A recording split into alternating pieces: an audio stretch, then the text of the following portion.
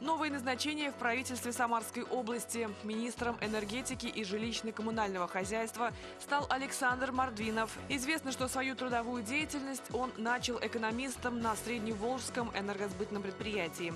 Также он работал на руководящих должностях на предприятиях сферы энергетики в Ульяновской области и в Республике Мордовия. Спасательные жилеты для рыбаков и ряд новых правил для владельцев судов и яхт. В России изменятся правила поведения на воде для всех владельцев маломерных судов.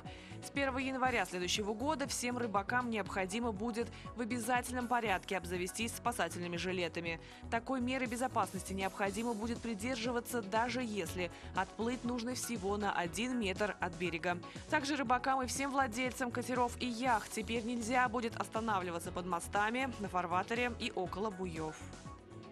В Тольятти прошел первый этап Кубка России и всероссийские соревнования по синхронному катанию на коньках.